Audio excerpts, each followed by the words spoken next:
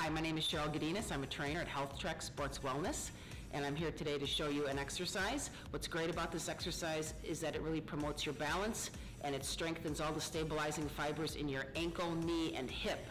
So if you're talking about tennis players, racquetball players, squash players, baseball, any sport really is going to benefit from this exercise.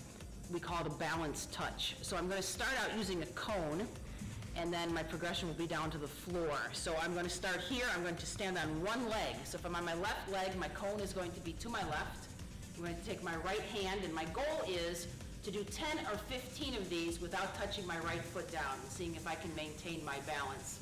So I'm going to start here, I'm going to go down to my cone, I'm going to touch the cone, I'm going to come up, and I'm going to try to maintain my balance until I get to 10 or 15 repetitions.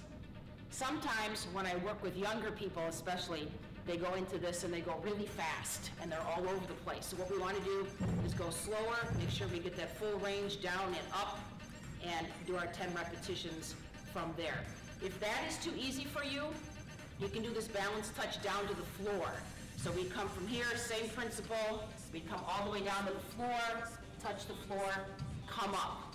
If that is too difficult, we can use something easier, which is a little bit higher than the cone, higher than the floor. We just go down to the height of the step and do the same thing until we feel confident. Then we could progress down to the cone and down to the floor. So you're gonna really feel a nice burn in your ankle when you do 10 to 15 repetitions. So if you have any questions, please ask me. I'll be glad to help you.